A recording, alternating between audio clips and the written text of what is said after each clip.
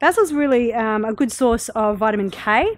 Vitamin K is important for bone growth and it's important for blood clotting.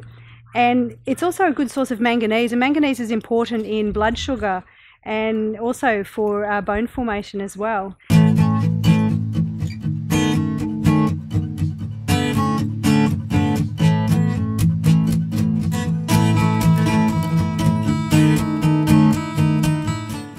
So we've just picked some basil from the garden and what we've picked here is the purple opal basil and you can see that beautiful dark purple leaf in there.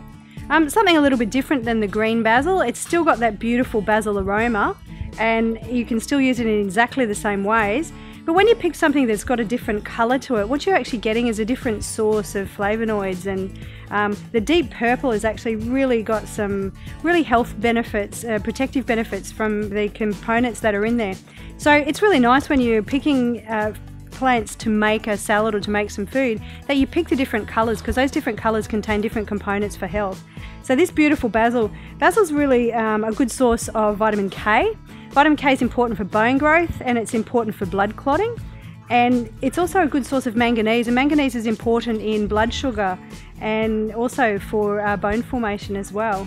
So add a little bit of basil to your cooking or make up a beautiful salad with tomatoes. Tomatoes are also a good source of vitamin K, vitamin C and manganese. So making up a salad with all them in there and basil and tomatoes just pair so beautifully. The, the flavours go well.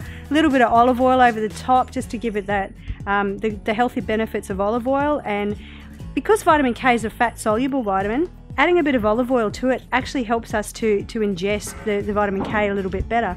Vitamin K works with vitamin D for strong bones as well. So there's just really going to be a nice way to get some, some healthy benefits out of, out of your food. So you're using your food for medicine.